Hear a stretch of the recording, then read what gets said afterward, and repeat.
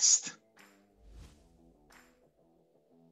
Talk, express, speak, teach.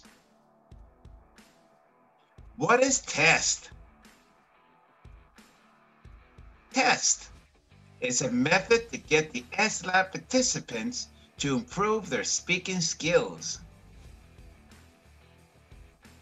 By talking, expressing, speaking, teaching. Talking gets a topic and starts talking about it. Expressing receives an issue and begins expressing their opinion about it. Speaking is given a subject and starts speaking about it. Teaching is handed a task and begins teaching something about it. SLab, think English, speak English.